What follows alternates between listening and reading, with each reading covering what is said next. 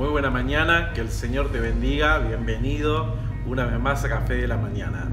Meditaba hoy en un ejemplo que Jesús colocó con un hombre, con un hombre en la sinagoga, con un hombre con una discapacidad, eh, y un texto que siempre he pensado, ¿no? Bueno, habla del milagro creativo del Señor, pero en estos días, meditando en él, eh, podía encontrarme frente a una situación eh, que creo que hoy puede ser que ocurra en muchos lugares, y no solamente hablando de una dificultad física, sino que también creo que el texto nos está hablando de una dificultad espiritual. Marcos capítulo 3 relata allí acerca de aquel hombre que tenía su mano, una versión dice la mano seca.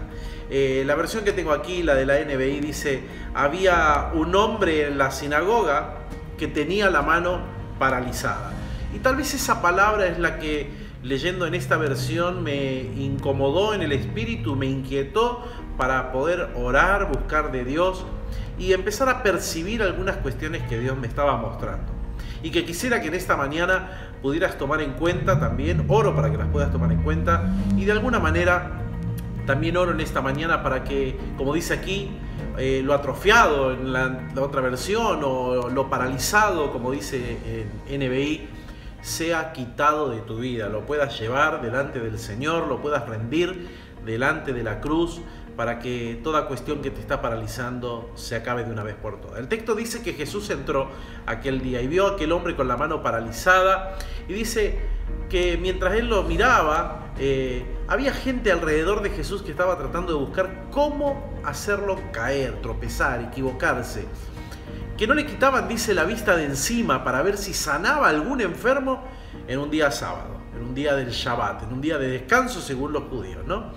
Entonces Jesús le dijo al hombre de la mano paralizada, ponete en pie enfrente de todos. Y cuando estaba allí, hubo algunas cuestiones que eh, me inquietaron, como te decía. Entre ellas, este, esto de que Jesús agarra al hombre de la mano paralizada y lo hace colocarse en el medio de toda la situación.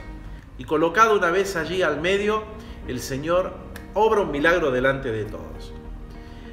La gente que estaba allí tenía a Dios. La gente que estaba allí tenía la tradición, tenía la cultura, tenía una relación histórica con Dios, pero lo que no tenían era una relación directa con el Dios que venían adorando por años. La realidad de Jesucristo en ese momento fue una confrontación de poder y tal vez esta mañana lo que Dios quiere hacer es confrontarnos con aquellas cosas que nos paralizan, con aquellas cosas que nos detienen, con aquellas cosas que tal vez nos hacen estar de la vereda de enfrente como estaban aquellos otros hombres diciendo, bueno, a ver, ¿será que lo va a hacer hoy? Mirando más la religión, mirando más las estructuras, que mirando el plan de Dios para traerle vida de vuelta a un hombre. Creo verdaderamente que Dios quiere traerte vida. Creo verdaderamente que Dios quiere darte una buena vida. Como lo dice Jeremías, ¿no? Dios tiene planes de bien y no de mal para darte un futuro, para darte una esperanza. Y allí está el secreto de parte de Dios. Creo verdaderamente que Dios te hará pararte en algún momento delante de las dificultades que te paralizan. Y cuando miraba esto, me encontré con que Jesús no hizo poner a este hombre en el medio, no lo hizo salir de su lugar y dice, ponete en el medio, donde todos lo podían observar, para hacer el reír, ni siquiera para que se mofaran de él.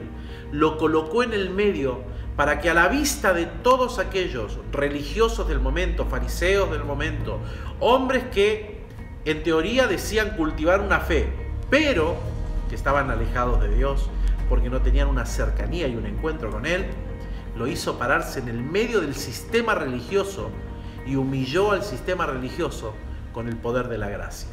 Creo que esta mañana el Señor tiene un milagro creativo para tu vida y creo verdaderamente en mi corazón que Dios quiere humillar toda religión y quiere humillar toda palabra, eh, secuencia, miradas que pueden traerte recuerdos de parálisis en tu vida o de situaciones atrofiadas, el Señor es el único que las puede restaurar. Y como en aquel momento en la sinagoga, una vez más el Señor, lo creo, volverá a hacer el milagro y destruirá todo aquello que la vida, el enemigo, las malas decisiones, malas conductas pueden haber traído algo atrofiado a tu vida, pueden haber paralizado algo. Hoy es día de libertad, hoy es día de sanidad.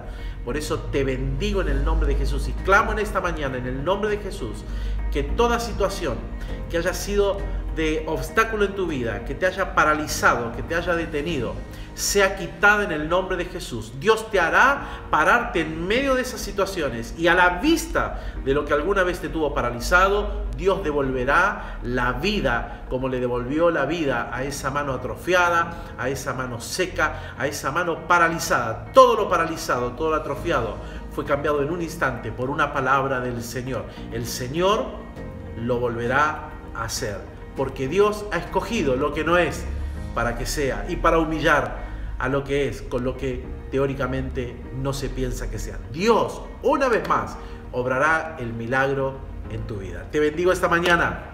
Muy buen día.